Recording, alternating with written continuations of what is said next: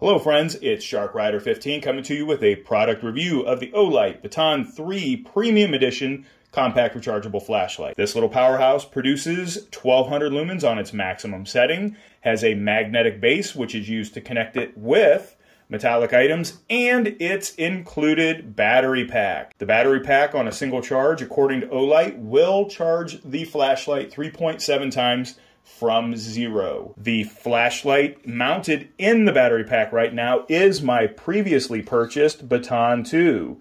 If you own other Olight products that fit this platform, you may be able to use this to charge it.